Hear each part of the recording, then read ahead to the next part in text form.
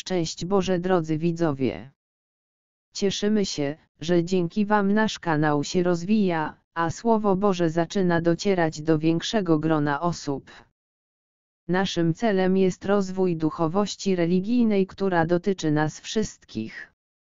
Zachęcamy i prosimy o modlitwę za przyszłość całej ludzkości i ziemi. Prośmy Boga, aby okazał nam swoje miłosierdzie. Modlitwa jest potężnym narzędziem do budowania naszej duchowości, jest niejako kluczem, który otwiera nas na wszelkie Boże łaski. A teraz zapraszamy do wysłuchania orędzia naszej ukochanej mamy, Maryi. Kochane dzieci, mój Jezus jest waszym wszystkim. On jest absolutną prawdą Ojca. On jest bramą, która prowadzi do nieba. Nie szukajcie dróg na skróty, które proponuje wam świat. Szukajcie Jezusa. On jest waszą jedyną drogą, prawdą i życiem. Przyjmujcie Jego Ewangelię, gdyż jedynie tak możecie osiągnąć zbawienie. Dajcie mi swoje dłonie.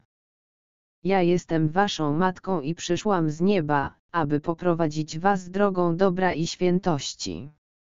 Nieprzyjaciele będą działali. Wyglądają oni na dobrych, lecz tak naprawdę są niszczycielskimi wilkami. Bądźcie uważni. Wytrwajcie w wierności prawdziwemu magisterium Kościoła mojego Jezusa, gdyż jedynie tak możecie wytrwać w prawdzie. Zginajcie swoje kolana na modlitwie. Zdążacie ku bolesnej przyszłości. Przyjmijcie oręż obronny, który wam wskazywałam przez te lata. Naprzód bez lęku. To jest wiadomość, jaką dziś wam przekazuję w imieniu Najświętszej Trójcy. Dziękuję za to, że pozwoliliście mi spotkać się z wami tutaj jeszcze jeden raz. Błogosławię was, w imię Ojca, i Syna, i Ducha Świętego.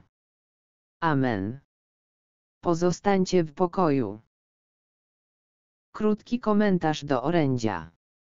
Maryja mówi o tym, że Jezus jest naszym najlepszym pasterzem i nie ma innego lepszego.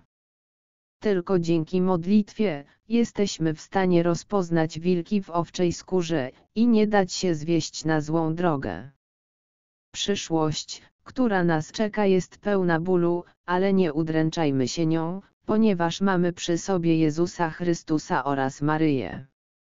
Bądźmy blisko Boga, ufajmy Mu a On poprowadzi nas, jak matka która trzyma za rękę swoje dziecko.